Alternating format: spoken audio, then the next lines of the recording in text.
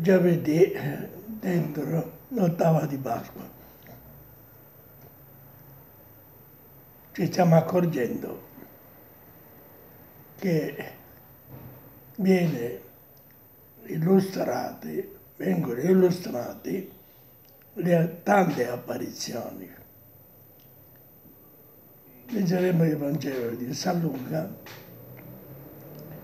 e come ho detto l'altra volta, se vi ricordate, San Luca ha il sistema di fare tre quadretti.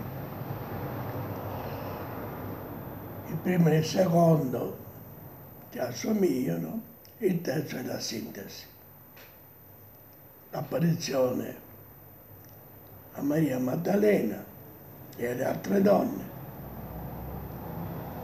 con l'angelo che dice le stesse parole per l'apparizione ai discepoli di Emmaus. E ora appare a tutti gli apostoli. E ci accorgeremo che poi la sintesi di tutte le apparizioni narrate da San Luca. Evangelo di San Luca capitolo 24 versetti 35-48. In quel tempo i due discepoli che erano ritornati da Emmaus narravano ciò che era accaduto lungo la via, come l'avevano riconosciuto nello spezzare il pane. Mentre essi parlavano di queste cose, Gesù in persona stette in mezzo a loro e disse pace a voi. Sconvolti e pieni di paura, credevano di vedere un fantasma, ma egli disse loro, perché siete turbati e perché sorgono dubbi nel vostro cuore? Guardate le mie mani e i miei piedi, non lo proprio io, toccatemi e guardate.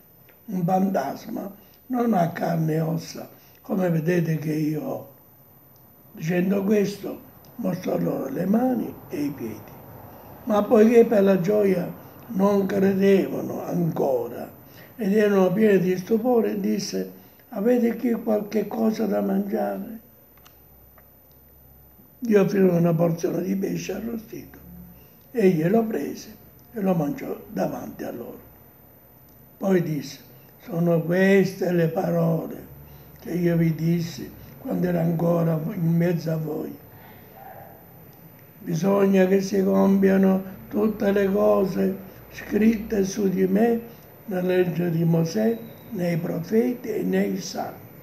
Allora aprì loro la mente per comprendere le scritture e disse loro, così sta scritto, il Cristo patirà, risorgerà dai morti il terzo giorno e nel suo nome saranno predicati a tutti i popoli la conversione e il perdono dei peccati, cominciando da Gerusalemme.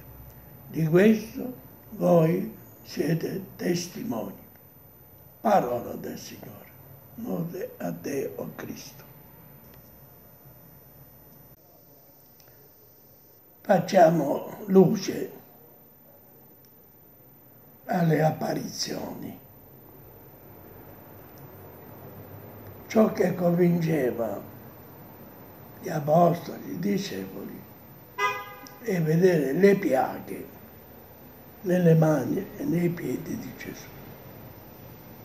Infatti i discepoli di Emmaus, quando Gesù spezzò il pane, è chiaro che spezzando il pane le maniche si sono pochettino ritratte e sono comparse le piaghe. Ora entra a porte chiuse si fa anzi trovare dove stiamo discutendo quello che i discepoli di Emmaus avevano riportato, a loro sembra un fantasma. E Gesù dice loro guardate le mie mani guardate i miei piedi, sono io, non sono un fantasma. Anzi, avete qualcosa da mangiare? Mangiamo. E poi apre loro le scritture per fare capire a tutti che quello che era stato profetizzato, era stato predetto, che era realizzato. C'è sta scritto che Cristo doveva patire, subire tormenti, morire e risuscitare al terzo giorno. E voi di questo siete testimoni e dovete annunciarlo a tutti per la remissione dei peccati e la conversione di tutti gli uomini. Quindi per noi è attualissima questa esortazione di fare conoscere il mistero ormai sperato della redenzione. Dio, nella seconda persona della Santissima Trinità, si fa uomo, muore come noi, risorge, dirà San Pietro, muore per i nostri peccati e risorge per la nostra salvezza. Questo lo dobbiamo fare sapere a tutti, perché siamo testimoni anche noi siamo testimoni che la resurrezione di Gesù è fondamentale. Certo avremo bisogno delle apparizioni, anche oggi, però sulla testimonianza degli apostoli e dei successori degli apostoli, da successore a successore, arriva per noi questa testimonianza storica, non direttamente della resurrezione, ma delle apparizioni. E sono raccontate in modo tale da togliere ogni dubbio, che sia un fantasma, che sia un'illusione, che siano eh, racconti di donnicciole, ma sono racconti di uomini ben posati che poi quando ricevono lo Spirito Santo cesseranno tutte le loro paure. Attraverso la potenza dello Spirito Santo saranno sicuri che Gesù è risorto e che risorgeranno. E lo dicono a noi, moriamo con Cristo, ma risorgiamo con Cristo. Ed è così per tutti noi ed è bello saperlo. In una delle apparizioni, poi lo vedremo, all'ottava, San Tommaso, apostolo, che fa l'incredulo perché non era presente a questa apparizione, Gesù appare e dice la stessa cosa, guarda le mie mani, guarda le mie toccano. E lui non tocca. Ti prostra e dice Signor mio e Dio mio. Non riconosce Signore e il Signore. E Dio, senza toccare niente. Tanto che Gesù dice, beati coloro che hanno visto, ma più beati ancora coloro che non hanno visto voleva dire anche di altri che non ebbero il privilegio di vederlo. Era, ecco, correggo le altre mie imprecisazioni, San Paolo ai Corinzi, capitolo 15, versetto 6, dice, e infine apparve a 500 fratelli tutti in una volta. E alcuni sono vivi, altri sono morti. Quindi c'è la testimonianza di gente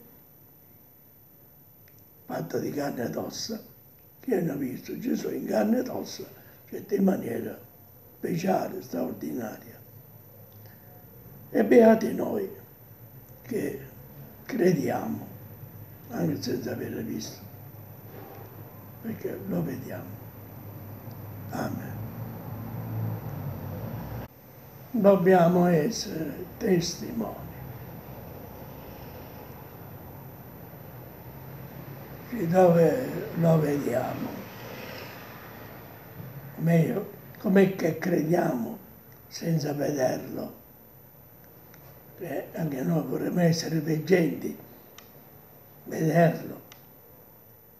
Ma beati noi che crediamo anche senza vederlo, perché del resto ce l'ha detto dove possiamo vederlo,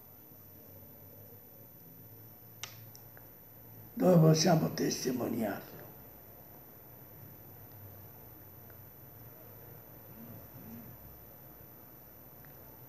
Non aveva bisogno del Papa, perché non tutte credono al Papa,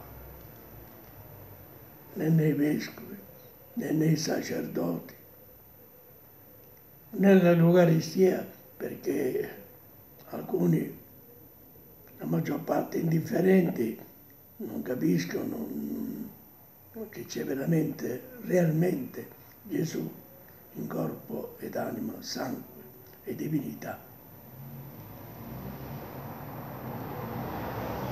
Non lo capiscono nemmeno quelli che leggono la Sacra Scrittura. Non lo vedono. Ma dove si vede? Gesù ha detto, da questo mi riconoscerete, cioè mi riconosceranno, se vi amerete gli uni agli altri come io ho amato voi.